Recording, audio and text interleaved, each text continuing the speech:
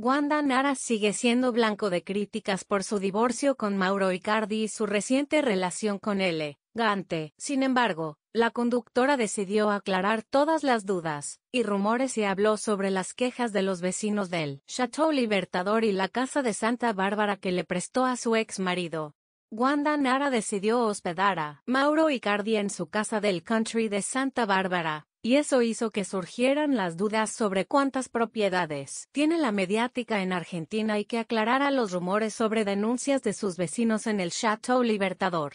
La empresaria fue escrachada por Mauro Icardi cuando se presentó en la casa de Santa Bárbara para prepararse para la gala. De cara sí, frente a las dudas sobre la situación, con la consulta de los periodistas, la conductora de Bake Off señaló que presté de corazón mi casa como lo haría con cualquier persona y como lo hago con mi ex, Maxi López, cada vez que viene a la Argentina. Después de asegurar que la estadía de Mauro Icardi fue de común acuerdo, ya que se trata de una propiedad de ella. Aseguró que el préstamo de la casa era hasta el 25 de noviembre, ya que ella después necesitaba la propiedad, pese a que el futbolista no tiene en planes irse.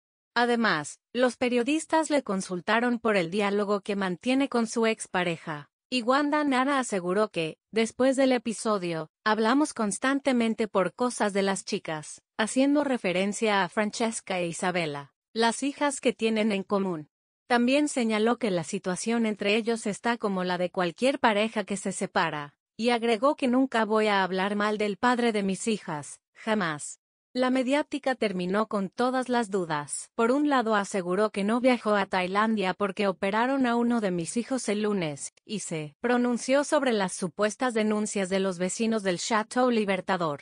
Cuando uno de los periodistas le consultó sobre la posible denuncia de vecinos del Chateau Libertador por la presencia de L. Gante en el lugar, la mediática aseguró que el cantante de RKT nunca durmió en el Chateau y nunca está ahí. Es otra mentira sentenció.